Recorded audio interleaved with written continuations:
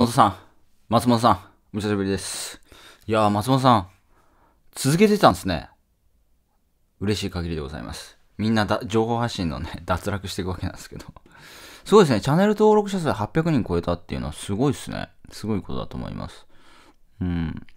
で、せっかくあの、いただいたので、まあ、アドバイスをさせていただこうかなと思うんですけど、ここで、あの、発達障害ですね。発達障害は、まあ、ここで書いてある通り、お、お、お、金稼ぎや恋愛の普及などと違って、ものすごい欲求をかき立てる分野ではないので、なかなか保護者の方が高額商品にお金を払うとは、なかなか思えないんですよね、と。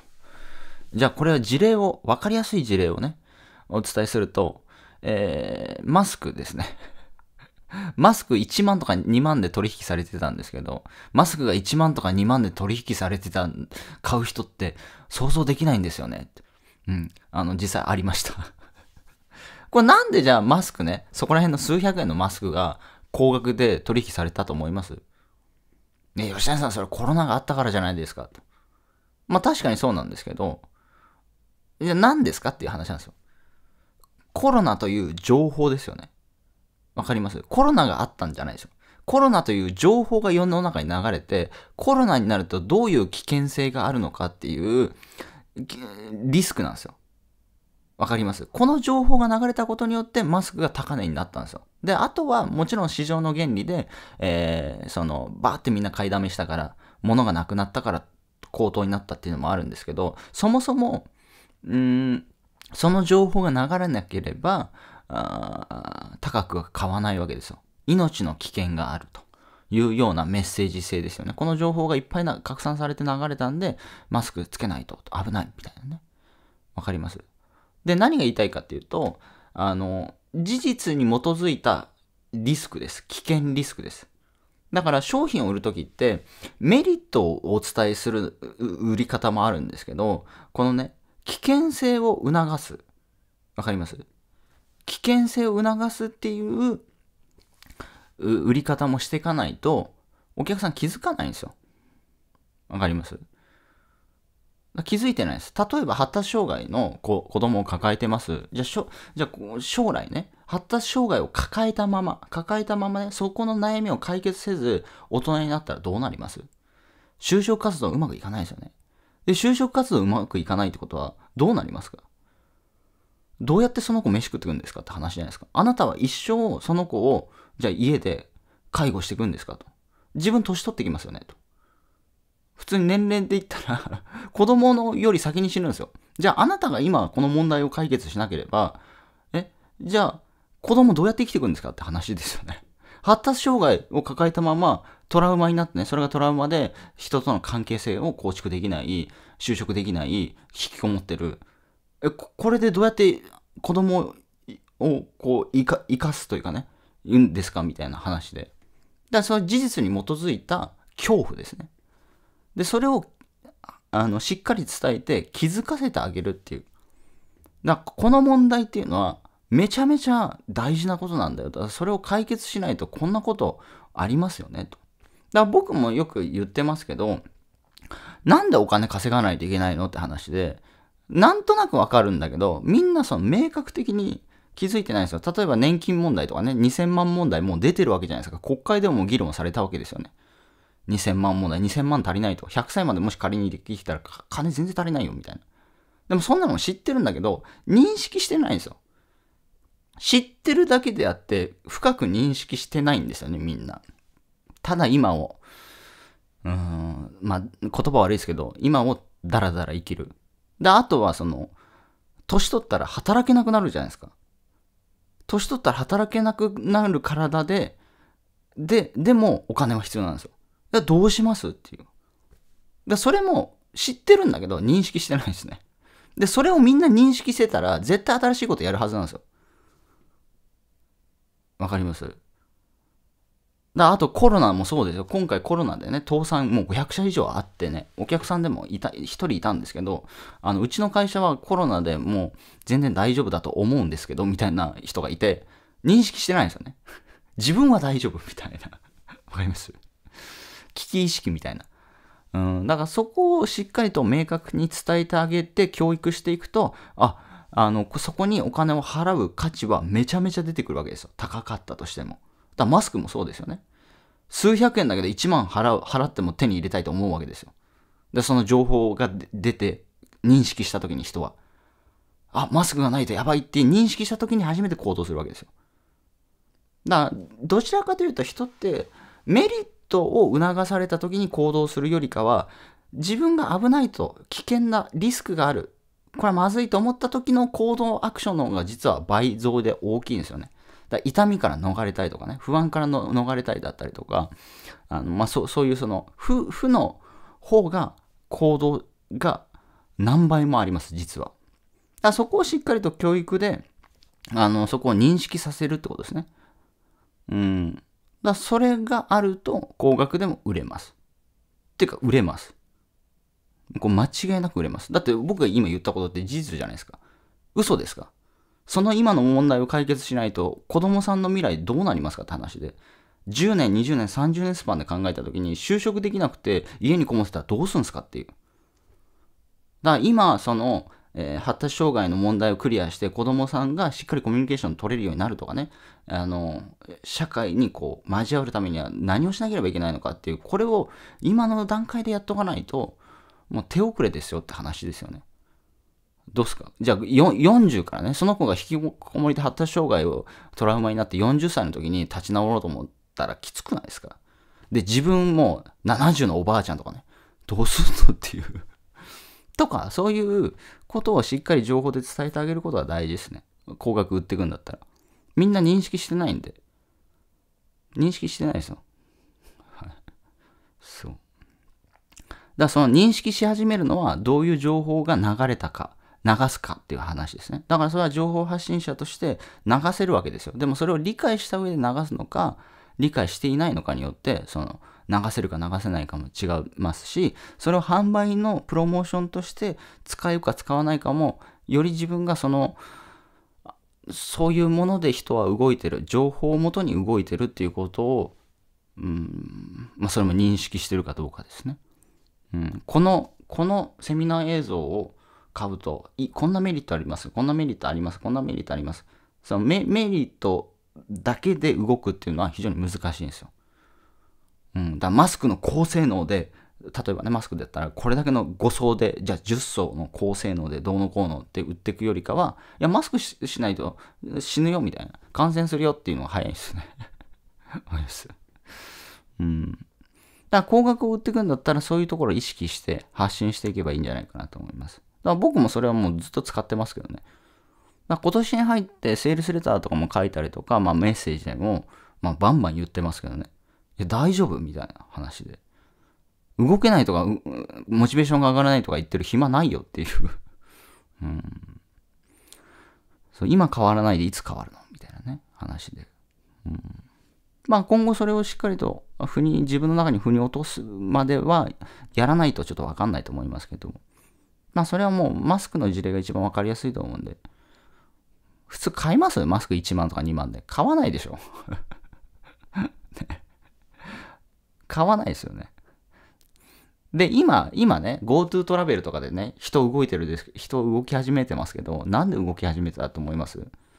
それはメあメディアがあまりコロナに対してのあの情報をそこまで昔に比べると発信しなくなった。プラス、えー、その情報に慣れてしまったっていうとこですね。市民が。もうコロナ疲れとか、もうコロナもういいよみたいなね。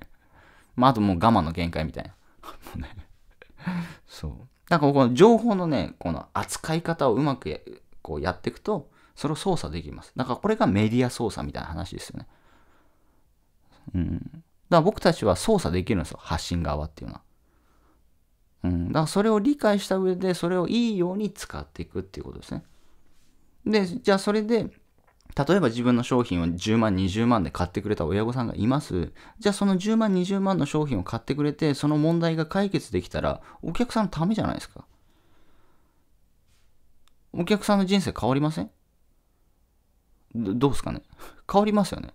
その問題が解決できれば。じゃあその問題が解決したことによってどれだけのメリットを得たのかっていうね、話ですよね。うん。はい。ということで、頑張ってください。まあ今言ったアドバイスをしっかりあのやっていただければ、高額でも売れないってことはまずありえないです。売れます。うん。それをどう発信していくかですね。あとは。あとは教育、そのプロモーション商品を売っていく中で、その段階層にそれをこうかましていくとかね。例えば商品売るんであるならば、今のこの販売ページでバン出して売れないんだったら、まず、なんだ、あの、無料講義みたいな感じでステップメールで、ステップメールでその、それを教育していく。で、認識させる。で、その後、バンですよね。だ僕もあの今ステップメールとか使ってないですけど、毎回その販売するときに1話、2話、3話、4話、5話みたいな感じでやっていくんですけど、それは認識させる。この商品の認知というかね、まずこういう商品を売るんだよっていう認知だったりとか、あとは、えー、意識、興味づけだったりとか、いろんな要素をこうかましていって、で、最終的に売っていきます。うん。だからこの、販売ページ見させていただきましたけども、正直これだけ一発だけで売るっていうのは正直難しいです。うん。だけど今のステップをこうかましていけば売れますね。うん。だって例えばこの19万9000円の一番高いやつなんかは19万9000円なんだけど書いてるの3、内容3個ですよね。どうですか ?19 万9000円の商品なんだけど3個しか書いてないですよ、内容。まあもうすいません。これ情報系のレターだったら、この20万の商品売るためにね、ブワーみたいなレターですからね。19万9000円の商品を売るために、ブワーみたいな書いてありますから。でもこのページで19万9000円を自分だけ買いますかって話で、僕だから買わないですよね。うん、だからその教育プロセス、認知、認識させるっていうプロセスだったりとか、興味づけっていうのがあって、で、売っていくと。でこの前僕、あの、久保さんのキャンペーンをしたんですけど、久保さんのキャンペーン安いしょ、安く売ったんですよ。で、その安い商品売る上でも、それやってますから。安いから売れる。じゃあ無料だからもらえる。無料だからもらってもらえる。無料でも受け取んないですよ。そこに認識しなければ。それが欲しいとか興味づけとかそういうのがなければ、うん、取らないですからね。うん、だってポケットティッシュも全員受け取ってくれますかって話じゃないですか。みんなティッシュ買ってんすよ。有料で。有料で家帰ったらティッシュ買ってるのにポケットティッシュ全員受け取ってくれないですよね。無料でも受け取らないですよ。わかります うん。だこれはまあ、これからまだコンテンツ販売のまだその経験が少ないっていうのはあるとは思うんで、これをもっとしっかり勉強してしっかりやっていかないと、ここれだと売れないです、正直。で、もしこれで、これ、これで売っていきたいんだったら、あの、ファンを作んないとダメですね。圧倒的な。な一声かけたら、あ、いや、あなたのファンなんで買いますみたいな。うん、これで、これで売りたいんだったらですよ。うん、もうその800人の YouTube チャンネルの読者さんが自分のめちゃめちゃ濃いファンである。うん、もう信者化してるみたいな。まあ、それだったらこれでも売れると思います。うん、でもその信者作っていくのはめっちゃ大変なんでうん、そう。うん。だからそこの、ま、あまあ、当たり前のことだというか、まあ、販売する上で当たり前のことをしっかりこれからやってって、いろいろテストしてやっていけばいいんじゃないかなと思いますね。うん。はい。で、あとは、その、うん、価格帯のところで言うならば、その、自分でその高額がね、その、なんだ、払うのがちょっと難しいって思ってるのに、その一番安くて14,900円ですよね。うん、僕がドリームアカデミアで教えてるのは、まあ、フロントアップセル、バックエンド、クロスセルみたいなの教えてるんですけど、フロントは1万円以下なんですよ。だ僕自身もずっと4年間こうやってるんですけど、あの、1000円以下の商品も出すし、数百円の商品のフロント商品も出すし、でもそこでは利益は出ないですよ、もちろん。だけど、そこで何を稼ぐかっていうと、あの、売り上げは作れないんですけど、まず、無料から有料にした顧客リストを稼ぐ。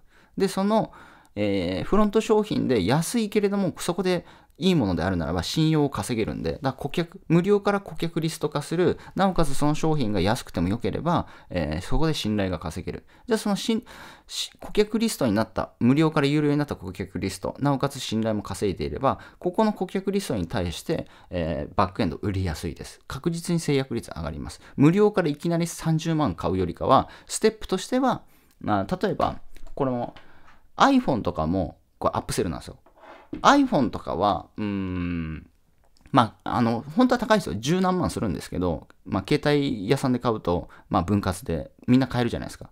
で、じゃあ iPhone から買いました。で、Apple の製品に触れていきます。で、これあのフロントエンドですよね。で、この iPhone を売れば売るほど Apple 製品が売れていくわけですよ。他の。僕は MacBook 買いましたけど、iPhone から MacBook のバックエンドですよね。今僕、今の僕のパソコンは MacBook Pro の50万のパソコンなんですけど、これ MacBook Pro の50万のパソコンを買った理由は完全 iPhone です。iPhone のフロントエンド買ってなかったら、まあ、MacBook Pro のバックエンド買ってないですね。うん。で、あとはアップセルで言うならば、その iPhone 経由で、この Apple Watch ですね。Apple Watch じゃねえわ。Apple のこのイヤホンですね。これもアップセルで買いましたし、Apple Watch も買いました。Apple Watch もありますね。だこれら買った理由は iPhone のフロントエンドがあったから。で、そのフロントエンドは、まあ、本当は高いんだけど、あの携帯会社で買うと安くみんな買えるんで。まあそういう動線ですよね。うん。だからこれだとちょっと、これで売っていくのはきついですね。最初は本当にフロントエンドとしてフロントエンド商品をしっかりと売っていくっていうことが大事かな。フロントで無料から有料にしていくっていう。このページだとね、いきなり14,900円なんで、無料からいきなり14,900円は結構ハードル高いですし、この14,900円売るのに2行ですね。2行。その、このコースがね。このコースの説明2行ですよ。2行で14,900円の買いますじゃあ Amazon でね。まあもちろん動画で紹介してますけど、動画で紹介してちょっと文章ありますよ。ありますけど、でもじゃあ実際さ、14,900円の商品の概要欄が2文字ですよ。2行ですよ。Amazon で2行だったら買います ?1 万5000円ぐらいの価格帯で。てかこれ無料でも微妙ですよね そう。なんか僕はね、しっかりただ、これ形にしましたっていうだけなんで、売りに行ってないんですよ。でも形にしたのはすごいことだと思います。ただ、売り上げを作っていくんだったら、売り上げを作りに行かないといけないんですよ。これだと売り上げ作れないんで。うん、だ今お話しした、その、まあ、えー、事実に基づいた、あの、危険性ですよね。うん。だったりの教育だったりとか、その一つの商品を売るための、そのしっかりとした、その、なんだ、ページ作りというか、うん、あとは流れですね。フロントからのアップセルなり、フロントからのバックエンドなり、そういう流れもしっかり考えてやっていくってことが今後は大事かなと思いますね。うん。